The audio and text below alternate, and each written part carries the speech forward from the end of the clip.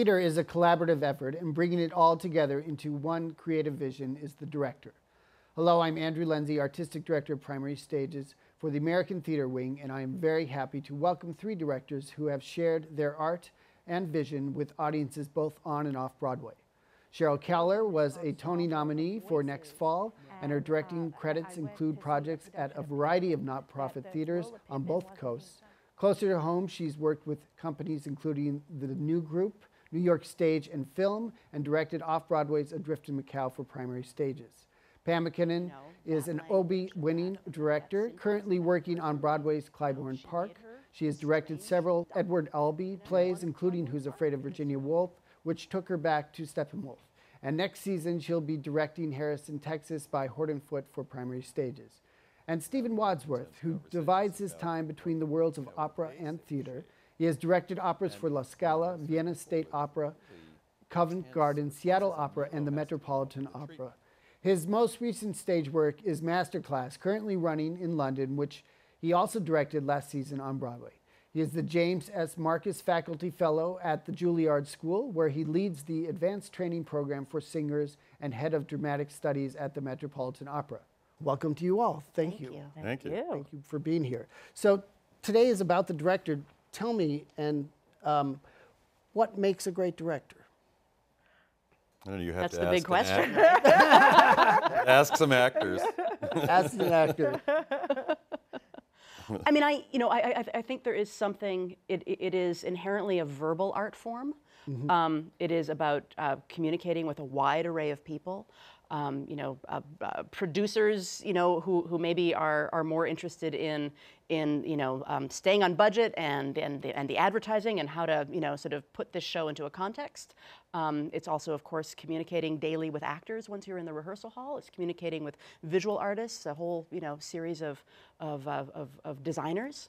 Um, so, you know, I think, I think there is, in, inherently, there is something verbal going on. Um, and then, you know, I, I also really think that it's about showing up on time, awake, and ready to um, give and receive. Uh, and you know, it's, it, it's showing up prepared, but also you know, willing to roll with whatever those great collaborators also bring to the table. You know, and and and, and having the ability to sort of uh, commit to the best idea, not necessarily your idea. Uh, it's about showing up and just doing the best job you can do every day and always being willing to punt.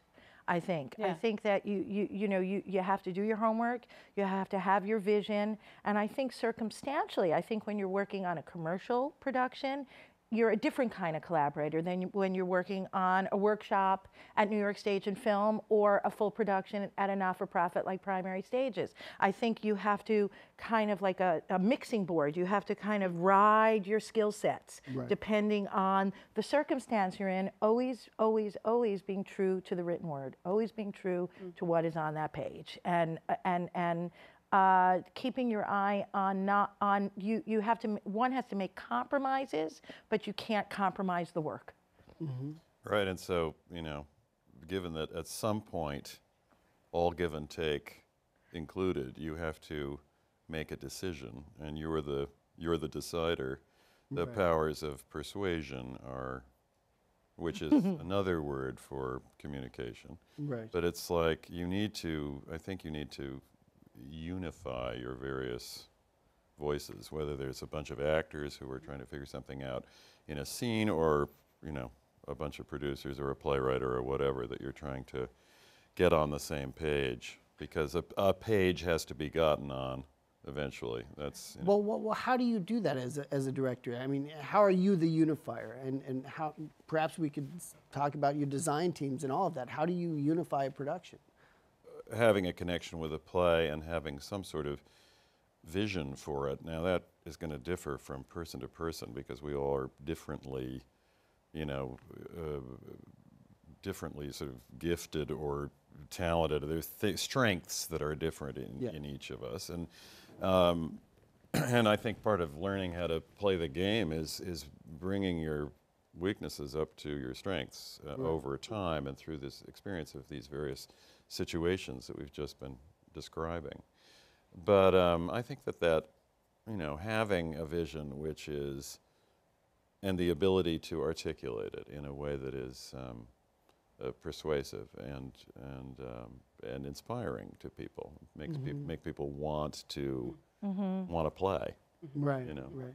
You I think the ability to play well with others is quite important. Huge. You're not yelling at people all the time. Hmm? You're not yelling at people all the time. in Um, no, I hear that that we are. But I, but I Never don't- encountered Yeah, that. No, yeah. these guys are the, are the most wonderful people in the business. That's sure. I think that I've had the privilege, I've only worked on new works. So by the time I get to production, I've, for the most part, been through a couple of readings, a workshop or two or three or four. Uh, and so I, I, I'm really clear as to what the play or musical requires. And I think that uh, it, it- without yelling, I don't, yeah, we, I, we're not yeller. I mean, I'm not a yeller either. really, um. I think that um, I think that no is a complete sentence sometimes too.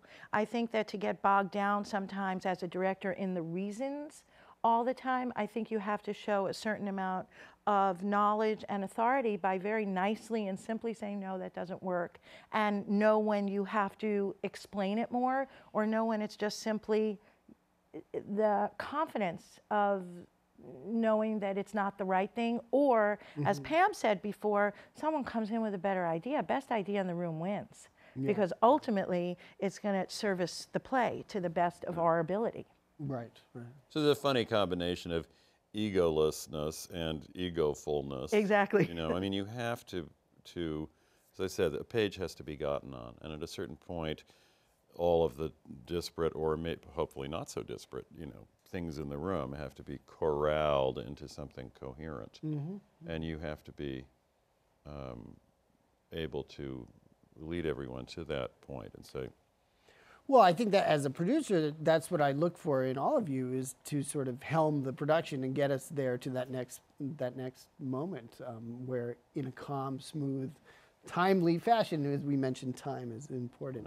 So, so tell me a little bit about how um, you you work with your design teams and, and, and getting back to this idea of collaboration. Um, what is that process like for for you, Pam?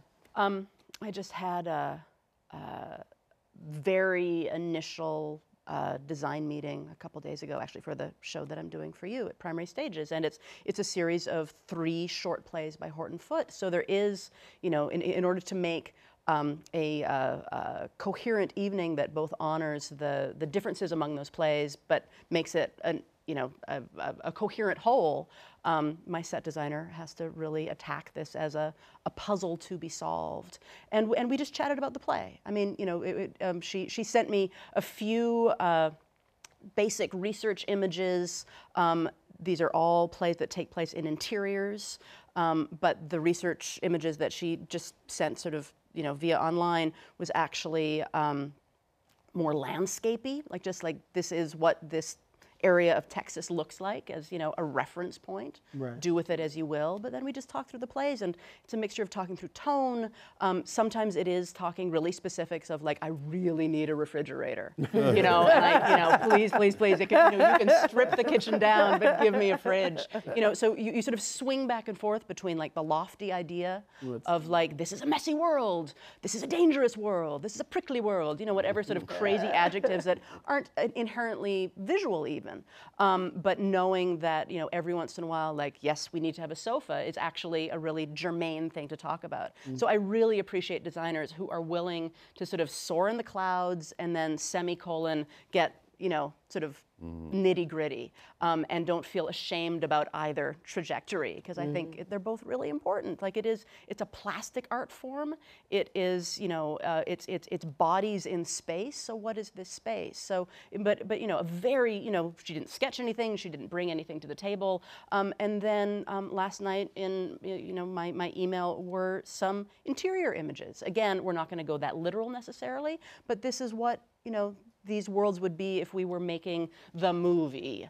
Um, maybe, you know, it's, it, it, it's that kind of like next volley. So I'm, I'm a big fan of like grabbing these little conversations so that there isn't like one deadliney, you know, experience of like now we must solve the problem. Like we get to sort of dream for a while, Yeah. which is really important. And then, you know, at a certain point, I'm hoping really early, we swing in the lighting designer. Yes. Who is also a big visual thinker. I, I rely on lighting designers a ton. I do a lot of new plays as well. And there's like, uh, they're, they're musical thinkers, they're visual thinkers. They're sort of, I, what they do is kind of mysterious to me. Like, you know, a set designer, it's sort of like, it's walls and a sofa. I get it. Um, lighting, it's sort of like, whoa, you just trans- Yeah. you just changed the play. How did you do that? How did you know that green was our color? Like, it's crazy town what they can do. Right. Um, and so, you know, to have people who, uh, you know, there, there is a real musicality in what they do, and there's something very ephemeral about it. It's, it, it, it, it's, it's, m- it's more like, like, like, the, like the sound of language, um, and it can really, you know, be evocative. So it's just multiple, I don't know, again, conversations. I keep on going back to that. and the ephemeralness, Yeah. it's a word, helps you live in the imagination. Mm-hmm. Uh, I, I, I, because I think that it's i i through conversation, it's about living in this um, this uh, the, the always always it's about the imagination. It's about you're putting something on a stage. And, and it, it, the, the world, it, I, I think, like you, it has to start off with the world is your oyster. Mm-hmm. Like, no, limitless, right. at the very beginning.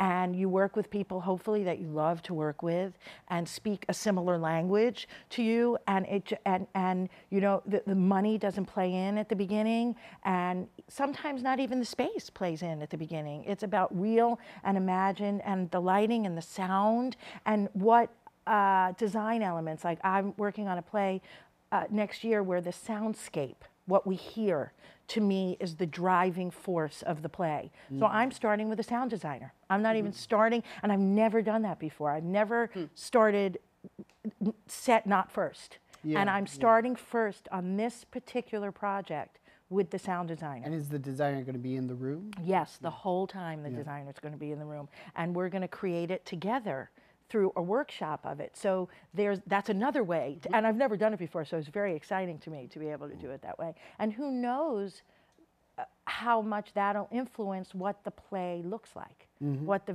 and and what a lighting designer can get from it, or costume designer, et cetera. Yeah. I think I love to, you know, I, I do see, I do need to see initially space in a concrete way. And I don't necessarily need a designer to do that. So I do need a designer who can work with someone who is visual to, in some way and has certain convictions about how things should look. And, and for me, the designers that I've started with, Thomas Lynch, set designer, Right. and uh, Dunya Ramicova, set uh, costume designer, and also Martin Pakledinaz, costume designer, and Peter Kaczorowski. Peter and Marty and I did our first show in together in 1988, and have worked. That's been our the primary team that I've worked with over all of this time, and we always come back to you know, what is the next time that we can be together and make that work? And I uh, what I discovered about Tom and Dunya, who were the first really important visual people that I worked with, is that they were, I mean, I think those two people taught me more about seeing and about directing in some way. The organization of space and the, you know, the, the, the incredible layered reality of a, a piece of clothing. I do a lot of, uh, you know, period work, Yes. so, and a lot of 18th century work over time. And working with Dunya and Marty in the business of, you know, using every element of that craft to tell a story. Well, I remember you when you were doing Marivaux talking about your process working with your costume designer Yeah. and, and how you would think first take each character and then you would look at different fabrics. Yeah, I mean that's Different- and it's become more more that way. I, I, I love to do that. I mean, there's some.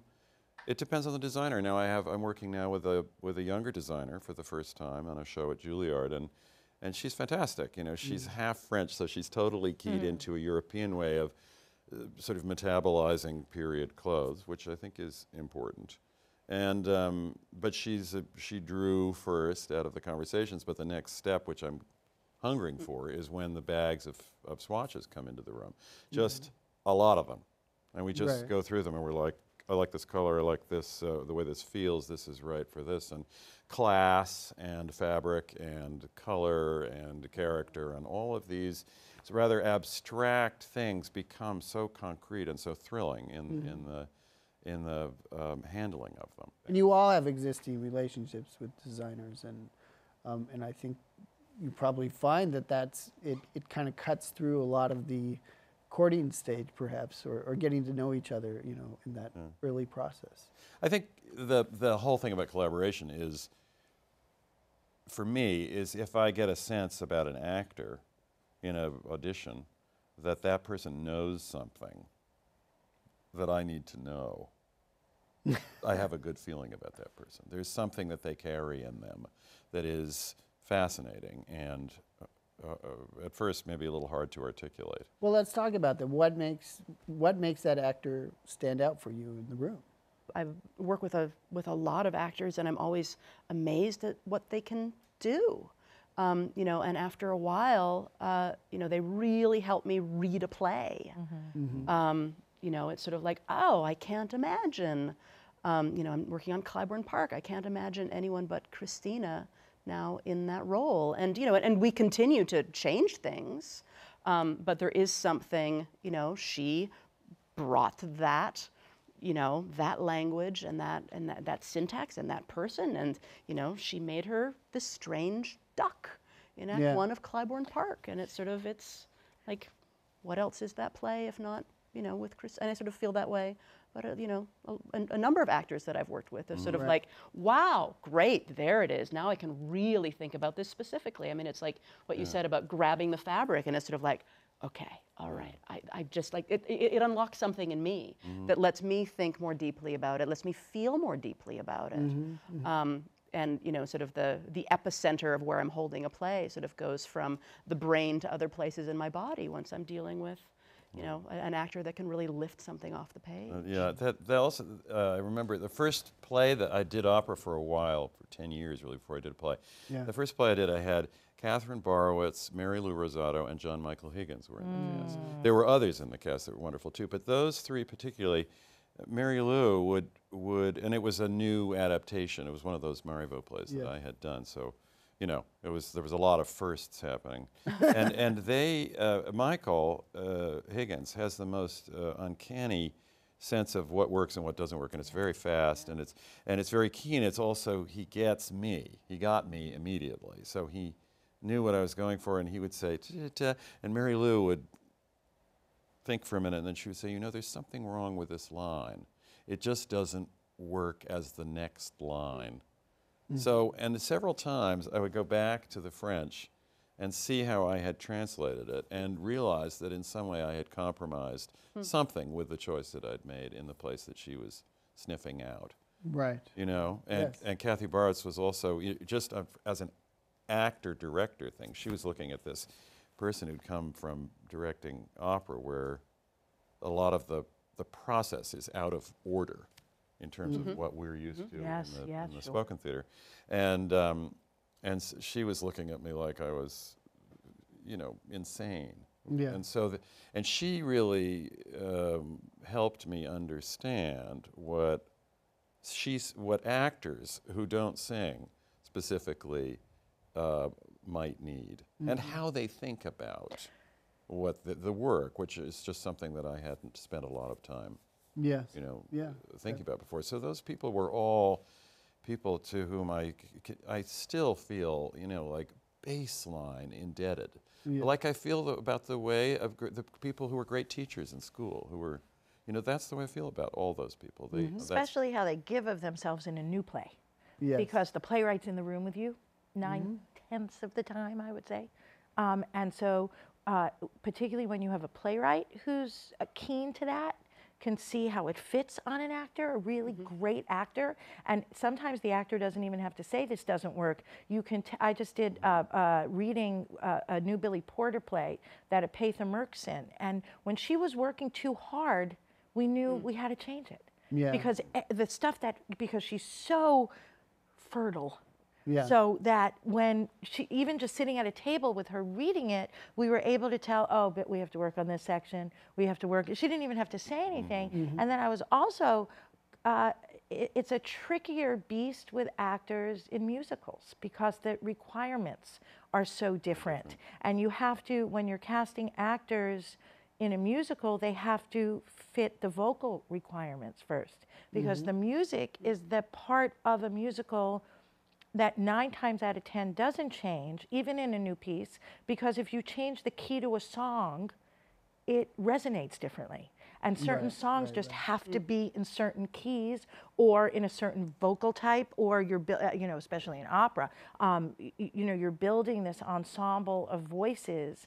And uh, I- I went to see a production of Pippin that the role of Pippin wasn't being sung by a tenor, it was being sung by a baritone. And it surprised me how much it changed the whole play for me. I Right. couldn't, I, and not because I was used to it as a tenor, just because it didn't speak, it didn't sing, it didn't resonate in the same way. So then, so you do your first layer of casting in a musical when they fit the vocal requirements, and then you try to get like what you guys are talking about about the pixie dust with the actors when they come into the room, whether they can teach us something or bring something or just be humble, wonderful, brilliant collaborators. Uh, so it's it's a whole different Who are process. somehow, you know, who look the part or who have some Right, quality about right, them. that right, right, right. So right that you can't ignore that, even Yes. if they're not exactly changing the shape of the room, or if you, there's slightly less pixie dust, you know, than there was for, you know, the, the other lead, or whatever, you know. I mean, I think that there are lots of, lots of, uh, of uh, considerations there, but Well, let's talk a little bit about working with um, the playwrights. And I mean, all of you, even masterclass, Terrence was in the room, I'm sure. And, and what is that process like for you as a director? Well, again, I, it's just so different. I mean, the, the living playwrights that I've worked with are three. Terrence McNally, on, no, but not on a new play. Right. Beth Henley and Anna Deavere Smith. So, I mean, I just say the names, and you're like, well, they're all we- seriously different. Different. and the process of working with them is also very different. I, I, I find it, it, it's pretty bracing to have a, a playwright in the room mm-hmm. Um, because there's, there's another uh, eagle eye there uh, to which you have to defer. I remember at one point I was, I was um, talking to one of these casts and saying, you know, I had gotten notes from the playwright, which I was communicating to the cast, and I said, you know, it's not always just a case of being able to interpret the play the way it feels right to us.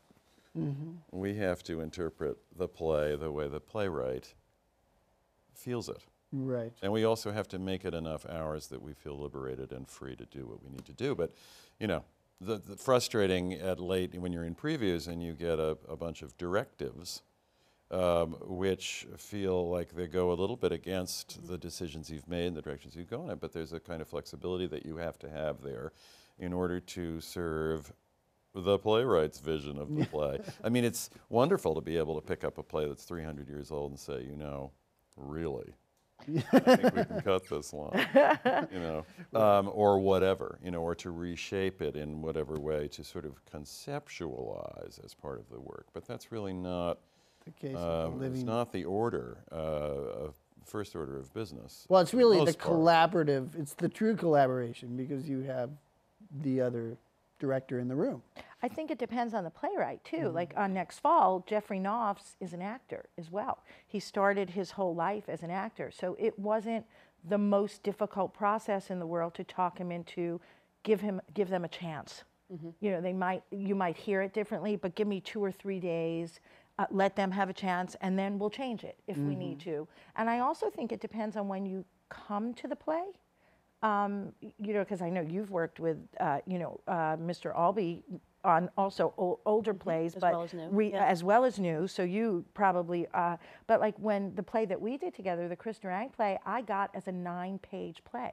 So I was in on the ground floor of that thing. So I had almost as much voice as Chris and Peter, the composer Peter Melnick, as they did because I was in it in such. I mean, nine pages is what I got first. And Chris said, "What do you think?" and I right. said, "You're Chris Durang. Let's do it." Um, but so so uh, different from you coming in to um, an older play by Edward or a newer play by Edward, and also the personality of the writer. I mean, you know, we know uh, the play that the Chris Durang play that Andrew and I worked on together. We had to get Durang out of the room. He Well, was was just gonna say stifling the actors, and we and I went into Andrew's office and I said, "Okay, we need to do this together."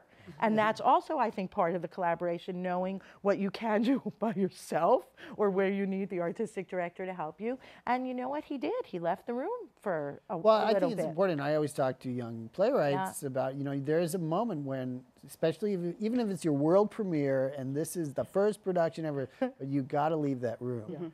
Um, And why is that? I mean, I think inherently, uh, a director as well as actors, it's sort of like we want to please. Like there is mm-hmm. something, you know, sort of like, oh, I, I, I- I took this job because I believe in this story. I believe in, in, in the pieces that make the story. I'm, you know, this is fantastic. I'm starting to feel like I own it, but I want to, I know that this came, this sprang from your head. I mean, you know, and, and, and even if it was, you know, a commission, a writer, like no, like especially playwriting, like, like, like no play actually has to exist mm-hmm. you know period but you know these these people they they you know go to a cafe or they sit in their living room or they scribble on the subway and all of a sudden then they hand it over. So there is sort of a i don't know there there there, there is something at once compelling as well as you recognize that there's sort of I'm, I'm honored. I'm honored to have these pages. And i think sometimes actors there is a point where they know that while they they will get there they're not there and there and there, there's a mortification factor of like I'm so sorry, um, you know, and and, and, and and sometimes you you sort of learn in drips and drabs. Oh, this character is loosely based on your mother. How can I possibly live up to that? And how dare you make me try to live up to that? um, you know, because I am my own person and I'm you know I'm, I'm pouring myself into this. Um, so yeah, so you have to let me do it, and with you you sitting there and you know on occasion frowning, I'm going to assume it's frowning about me. Um, you know, and, and so it, it you know uh, these these are tiny rooms. These are you know delicate moments. Um, You know, even like like that sort of you know, marching through the second week, let's say, of a three or four week, five week rehearsal process, um, when actors are, are, are, you know, really committing lines to memory and knowing that, oh, I don't quite have this one down, and you, of course, as the writer, know it verbatim. Um, it just, it just, you know, it's just undue pressure um, when actually we need sort of, uh, we need un, uh, unfettered and sort of unconscious time to make some mistakes so we get there. Yeah, That's the tricky thing. I mean, Yeah. Yeah. it's uh, service is the is the big word in in in my world about uh, what I'm what my role is. You know, and if it is service to the actor, to the audience, to the play, um, and then to this a specific vision of the play, which I am not in control of, which I might otherwise be if the if the playwright weren't there or weren't alive.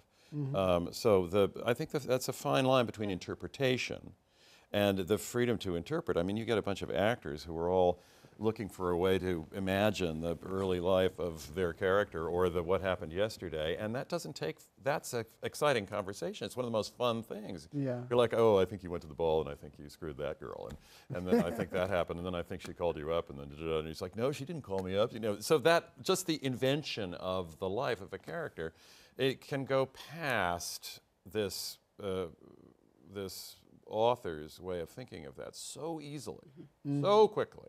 And sometimes you can prevail um, and say, you know, this isn't a choice which is reductive about the material.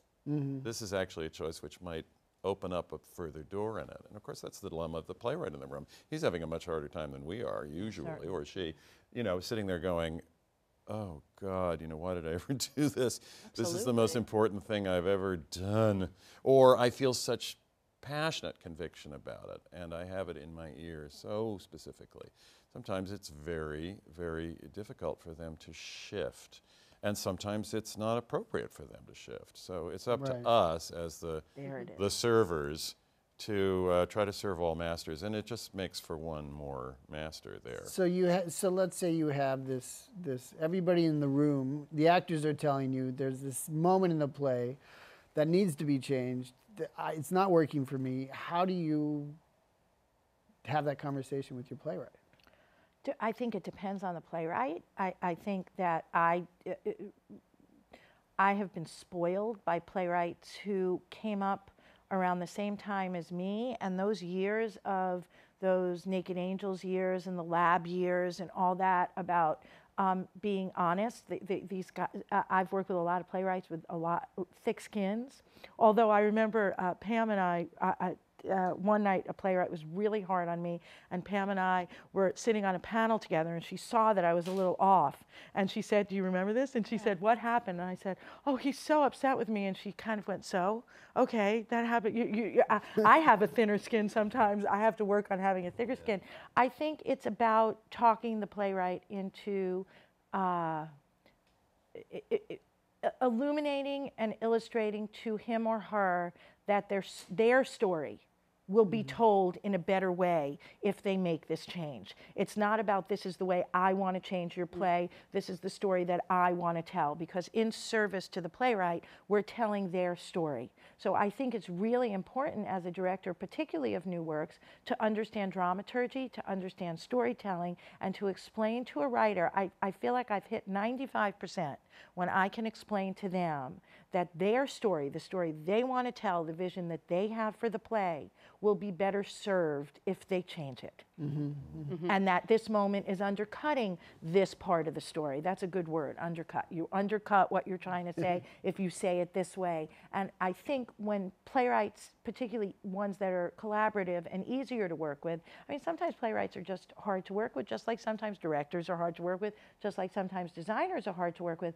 But I think directors who are open to change get prickly when you try to change the st- why don't we have this character tell the story instead of this character that that you're not going to get listened to and that is where we have to have that reverence to the story that they want to tell um, And that's also where you want to have been working on it from the start. Yes. You know, and coming in when there's nine pages, um, so that a lot of that work can be done in the, as it's built. Um, when I work on new operas, really exclusively, I work with people who now, I mean, the last four or five times, who have not started.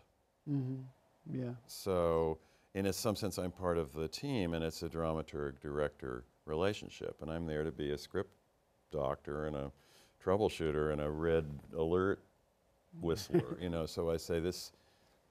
This I don't think this is the right gesture dramaturgically for this content. You know, we have to get form and content better in sync, and you know, so. uh, But it's as we're making it. Now, it's not necessarily easier you know um, and and it's it's a hell of a way to get to know someone certainly You is. know. trial Yeah. by fire man we're just uh, i'm just starting a new project an adaptation of the novel bel canto by Ann Patchett which is um, this young peruvian composer jimmy lopez and nilo cruz writing the libretto. Um, latin americans working on this subject. And so we've just started to have our intense conversations about what you know a basic shape of things. And you know there's three people with really intense responses and nilo has to come up with a treatment.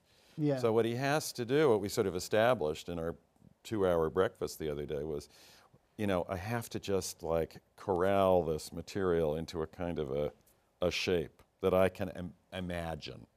And then you know if there's x x and x layering or reordering that happens then. I mean we were talking i would say well no i think it's pretty important that maybe we you know when is the act break going to ha- all this kind of thing you know, Right, just we got right in there. And it was uh, a spirited conversation. You know and great. I mean Yeah. wonderful and uh, but but there's a lot of you know it all comes from you know it's really not about three difficult people normally it's about three passionate Exactly. convictions um, or two or however many sort of uh, trying to figure each other out and, and really not wanting to let go of things that feel um, beautiful Yeah. you know Well, and, and, and, and very quickly, there is something outside of everyone. Like there is, there is the production. There is, you know, and I think, I think if you can embrace that, and it goes, Right, you know, it sort of steps onto what you were saying about there's an external story that is now out there. So this is not a personal attack when I ask for something or when you ask something of me. It's like, oh, right. There's, there's something that we have created and now we are in service of that. There was one, um, I was working with Edward on um, his, I guess, his reimagining of the of, of, of, the Zoo story, where the Zoo story, you know, at, at that point, a more than 50-year-old play, was now the second act of a two-act evening, and we were having a really hard time. It's just really hard. It's really hard material, and the stakes are high, and all that good stuff.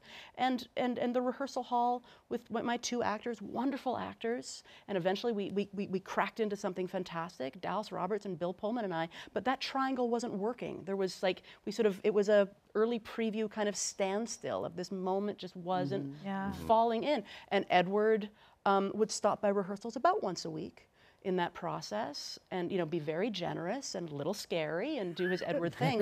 And um, and I and I you know I, I I waved the little flag like a few days earlier and I said like it's it's really hard. It's Right. really hard. Could you come on Wednesday and not Friday? Mm, I'll see if I can do that. Yes and he was there. And and it was fantastic and the power of the writer he just sort of, you know, made our triangle collaboration a square Yes, yeah. with a particular kind of gravitas, and it's his fucking play, excuse me. um, but but he did this amazing thing. He listened to sort of our grievances and and and, and our problems, Yeah. and and then um, he called over the assistant director who had a copy of the script, and he opened up to a certain section, and. Um, because he knew we were at loggerheads and some of it was fear-based it was, had nothing to do with really the work. And he looked at a page and he took out a pen and he said you actually don't need this. And he like crossed out two and a half pages of the zoo story and said now go back and rehearse this. Wow. like he, he sort of he sort of said oh you're there, there's a wall for whatever reason. And he said i have the power like i don't want to stay in rehearsal i don't want to deal with your your grievances and this is difficult difficult difficult i know it's difficult but i'm now going to change the text force the parameters that you're working on to shift and now you have to go rehearse it differently Right. bye i'll see Yeah. you Yeah, on yeah. tuesday hope it gets better Yeah. Yeah, and maybe I also, maybe he also, you know, cut out uh, the heart of the problem too. Right, You know, right, that's also a absolutely. No. Which is the possibility. value both- of not both- having him in the room for both sort of he, he cut out like like like maybe content wise some of our difficulty. Mm-hmm. Yeah. but, but in some respects it was more the gesture of like just get to work. Yeah, like you know just just do some work. And this is as a writer this is my power. Like my biggest power is to shift the text. Mm-hmm. So i will shift it for you. And now i'm forcing you to rehearse this differently. Mm. Bye it was um, amazing. It was kind of amazing, you know, to do, and that's, you know, the power of a living playwright. This is a right. this is a play, you know, a canonical American play, but he's still around and he can take that red pen out whenever he wants to. So how how did it end up? Was it Great. better for it. Yeah. Oh yeah, no, Yeah. it's great, and it really sort of taught us the lesson of, oh right, we're supposed to be rehearsing and we're supposed to be, Right. you know, digging into this, and yeah, yeah, Yeah. and reminds us that sometimes we have to shake it up Yeah. a little bit too. When a, you, you- you know, when when you see the power, I think as you're saying, Pam, when you see the power of that, I'll call it the red pen, but it's usually a pencil in rehearsal. But when you see that power of even just taking out a single word, Mm-hmm. Yeah, yeah, sometimes, and and and that's negligible. A single word is always negligible, always. But when a playwright does that and it shakes it up, Yeah. it's like, oh, wow. I, as a director, you also have the power to do that. That's what the playground of collaboration and rehearsal is. And, and, uh, and again, living in our imaginations i- in a way where we can say, okay, let's do it this way. Let's do it that way. Let's do it this Right. way. Because a playwright knows that, a, a- and a very good playwright, Yeah. needless to say. Yeah. Um, and we were in a rut, and Yeah. he said, well, there's no need to be in a rut. Just get out of the rut. Right. I don't know if this is the solution, but you're not going to be in that rut anymore. Yeah. Okay. It was interesting and, uh, with Masterclass, which Terrence had done 15 years before we came and did this second, you know, Broadway production.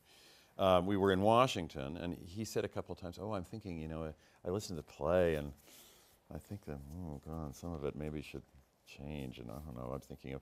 I said, "Don't change a word. It's it's." Really brilliant. And even Right. if it has some jagged edges that you're feeling or seeing you know i feel like this is a classic text. This is a great text. It's, it's exquisitely pulled together. It's just amazing from the play w-r-i-g-h-t Yes. ing point of view. It's really incredible. And um, so i said don't don't don't don't. So he said oh, all right i won't. And we kept working on it. I said plus you know let us let's let's see whether you don't even you know tell me what the problems are. Just you know, and then in notes he would say this is awkward or that's awkward or you know, try to do this or try to do that, and that would be fine. But then in London, third time around, having previously done it in Washington, then Broadway, then. Um, he said uh, fairly early after an early preview, he said, "I want to cut three lines," and he, there were three lines that he put his finger on exa- three places that in one sense in one instance because i'd staged it in a certain way that he sort of did me a favor and cut a line although i hadn't been complaining about it he put he said this is just a, too long It's, uh."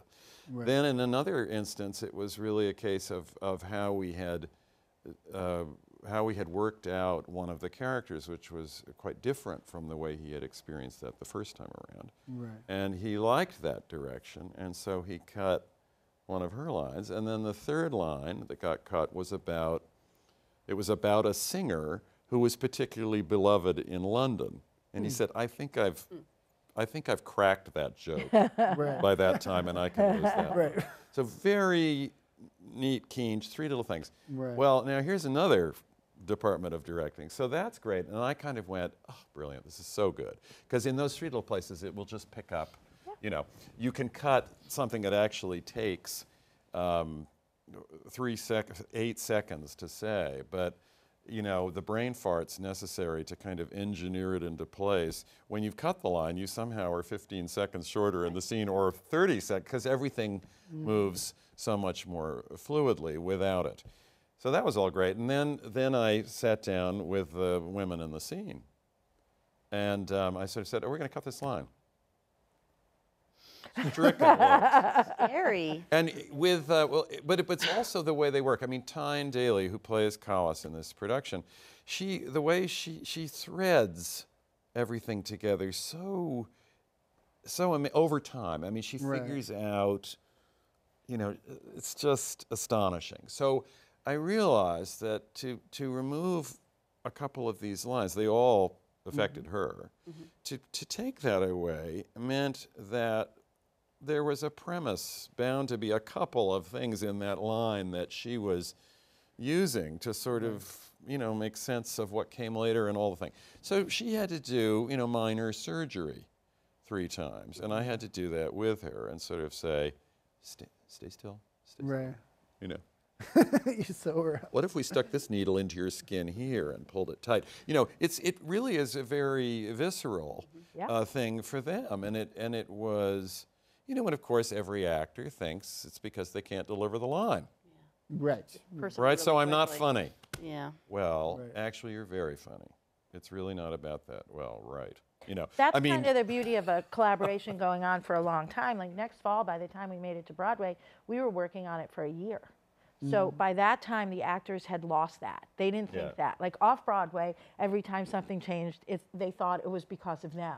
Now we're on Broadway because of the production that we all did together, and we, like you, are being supported. We were supported in not cast. The producers supported us in taking the original off Broadway cast and moving it to Broadway. So by mm-hmm. the time we got to Broadway, that was one thing I had to take off my. I, I was able to take off my list. Mm-hmm. Their feelings didn't get hurt when things were changed. They knew it was I don't know that their feelings or they didn't think it was- they it was worry 'cause of about them. that. They Yeah, worry yeah, about yeah, it, whatever the. Reason. we were able to. thing, when you're working, talk about collaboration. I think that time, and the time that you work together, and the length of time that you work together, or the years that you work together with certain.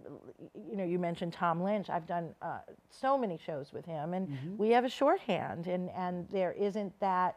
Uh, some of the scariness or or the oh is this me because of what I'm doing goes away after time and years and um, uh, uh, you know kind of a tapestry kind of collaboration that you have. i- What's on a also beautiful about the, the, the Terrence story is that, you know, uh, Tyne and Diane Pilkington, this uh, British woman who joined the cast in London, uh, Diane had only had a little time. Tyne had worked on the play for two years. Yeah. But it, it was because they loved what they were doing. And they loved, they had come, they'd figured out how to love those lines. Mm-hmm. Yes. Mm-hmm. and they So losing them was is it's just complex. It's like you know everybody got down to business, and in a couple of days, we had it sorted. You know, but we had to work on it and work on it, just run it a few times and get Mm-hmm. comfortable, and then do it again the next day, and just mm-hmm. you know. So, but that's a very interesting part of what we what we end up doing. You know, on every side of a little cut, there's Right. There, know, there's there's a- action and reaction. there are different interactions that Yeah. that require your um, you know patience and uh, diplomacy. And how much do you guys listen to the audiences? And how does that affect you? And especially in the first, I would say, for me, it's always the first two previews is, is your biggest moment. And, but what, what do you, what happens if you don't get what you're expecting to hear? Um, you have to you do pay attention to the audience but you have to know your play and what you want to pay attention to them for. And i think that varies from play to play. You know that if you have let's say nathan lane on a stage he might take a week to land all those jokes. So you don't have to pay attention to the audience if they're not laughing at the odd Right, couple right. one the you know i'm saying shows i haven't done you know the Especially first second Nathan or Lane, 'cause third he'll figure out Just Yeah, he'll really figure out fast things- exactly he'll how figure use the previews for his own end. Or you know, that. or or uh, you know, but the play that we did together, we really used your audiences to hone the humor in Mm-hmm. that play because that was what the task was. Um, for other plays, I, I always pay attention to when they get restless.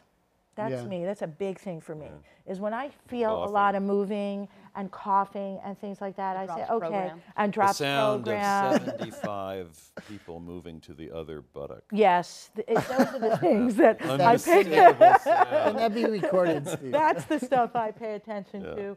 Um, and then on Broadway, it's a different beast because um, uh, you also you have to pay attention to the business side of it. Really, like I hate to say it, but in a Broadway audience, you have to know how many 26.50, $26.50 butts are in the seats because they'll go to the bathroom no matter how good it is. you know, I, or, or again, a subscription based, whether it's an older audience or a younger audience. So I think it's just so circumstantial to the Yeah. piece and to the audience and to how much time you have and to when the critics are coming. I think it's all, because I think that is part of our job. Uh, to, in order to, to, uh, you know, in order for, for us to have a healthy run, it's about the critics. It's so it, it so I think it's all of that. In commercial, I mean, it really isn't in yes. not-for-profit, which is one of the great glories of the regional theater system in America. Is it's, Right. You know, Pam, you mentioned that audiences were different in Los Angeles when you did Clybourne and, and, and how the play changed with that. Well, some of it, I, I mean, I mean, I don't know if it was city specific, but it was certainly venue specific. I mean, I first did Clybourne Park at Playwrights Horizon, so a 199 seat house, versus the Mark Taper Forum in Los Angeles, so a 720 seat house. in quite a different configuration. and hugely with its- different- right. With uh, uh, acoustical problems and also, depending on how you dress that stage, distance Mm-hmm. problems, you know, for some of the audience. It's, Yeah, I mean, I mean, I mean, the, I mean, the Mark Taper Forum. It's called a forum for a specific reason. It's a semicircle of a stage, and so you know, if you have someone downstage center, which could feel like a very strong place to deliver something at Playwrights Horizons, which is a small proscenium or end space, um, well, that means actually probably half the audience at the taper is behind that person, so not so strong anymore. So you know, so so it required definitely a lot of restaging, and I, and I, I agree with you and that that can be heartbreaking for actors too, Yes. especially if they've done it before. Yes. Your wife, we did a touring production, and we ended up at the Long Wharf after playing two Mm. beautiful proscenium. This is Mm-hmm. a proscenium show. I had happened to have done it in a thrust before, but when we got to Long Wharf, and we had to reblock, you know, seventy percent Yeah. of the actual. Those actors were in tears Yep. most of the time. Yeah. because there's i mean it, it's a biological act Yeah. Right. like there is something i used to i used to have my wife at this distance why is she Yeah. all the way over there Yeah, yeah. it's a huge house i need my actors to actually play some distance you know it's very interesting but but what i did find in a positive way bruce norris who wrote clybourne park he wrote a big house play i believe so that for instance there there, there are sometimes you know three laughs in a row at playwrights horizons we would get the first one Right. and then sort of like an understanding and an understanding after the second and the third. A big house is actually they're they're they're they're more anonymous and they're also there for that kind of ha ha ha ride, Right. and we would get every single laugh, and it was just it's it was a, rev- a revelation. Yeah, I had the Next same fall, we, problem. oh, yeah. yeah. we had the opposite when we mm-hmm. moved from playwrights to the Helen Hayes. Geoffrey did a lot in threes. He did a mm-hmm. lot of three laugh things. And we found from going from a 96 seat theater to a 650 seat theater that we could only get two jokes to land mm-hmm. because the laughter landed, lasted longer. In the Right. Coming from further away. It's Yeah. coming from further away. So Yeah. we took a lot of three joke uh, sections and turn them into two joke sections during previews. That's we use Yeah. previews a Right. lot for that, and I, and also the blocking thing is really it, we, Yeah. you have to depending on your space and depending on the size and uh, the blocking affected a lot of humor as well. How to land the humor from 96 to 650. In the in the vaudeville theater in London, where Yes. Masterclass is at the moment, it's sort of as if you take a shoebox and you stand it on its end. Right. Very narrow, Right. and it's very high. And You have two balconies.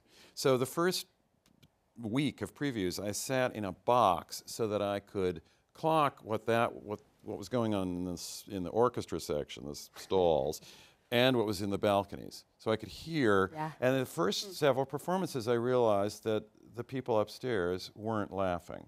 Right. They had a different show. So then I went up and sat there and I realized that they actually didn't laugh because they were afraid they might miss something because they couldn't quite hear it mm. well enough. Mm-hmm. Fascinating. Well, we're, So we're, you- we're coming to our final moment, so I, I would love to hear from each of you for closing where you go for inspiration as directors. What interests me are the are the complicated in between bits of personal interaction and how people behave and why. Mm-hmm. That is what a what it is about. Yeah, I mean it's it's you know yeah taking trying to be open, taking stuff in. Um, uh, I love to travel when I can. I mean that's an inspiration. I read a lot of fiction when I can. Um, I also try to see stuff. I mean I think I think my my my tastes are quite Catholic. Um, and I and I can definitely I love going you know to the opera. I love going to you know I, I, I- I sit on the board of a, a small downtown company, Clubbed Thumb. You know embrace their work. Um, you know uh, see stuff on Broadway. I mean you know I, I've, uh, other people's work. I love you know going to the Whitney. I mean Yeah. So for our final, I would say, you know, the first place I always go is to my family, and how they, how we navigate each other is very uh, informative and inspiring to me. And I'm with you guys. I, I, I because I have also the privilege of two children um, in college or in high school or in grade school. I go. I, what inspires me is what makes people do what we do right at the beginning. Yeah. So to watch these college students up there right now and uh, fiction, fiction Great. books. Well, thank you for joining us. Um, these programs are brought to you from the Graduate Center of City University of New York in partnership with our friends at CUNY TV. On behalf of the American Theater Wing, I'm Andrew Leynse, and thank you for joining us for another edition of Working in the Theater. Thank you. Thank you. Yeah. I'm Ted Chapin, chairman of the American Theater Wing. The Wing has played a vital role in New York's theatrical life for more than 60 years. Best known for creating the Tony Awards, we stand for excellence, but we also support education in the theater, and our work reaches beyond Broadway in New York. The Working in the Theater television programs, which are supported by the Annenberg Foundation and the Dorothy Strelsin Foundation, are unequaled forums for discussions with today's most creative artists. Downstage Center's in depth radio interviews were created in conjunction with XM Satellite Radio and can be heard on our website. For people who are starting their careers, we have a two week boot camp for aspiring actors from colleges across the country called Springboard NYC. And our theater intern group provides a forum for young people who are starting their careers to build a professional network. All of the American Theater Wing's educational and media programs are available for free on demand from our website, americantheaterwing.org. Thanks for your interest in the Wing, and thanks for watching.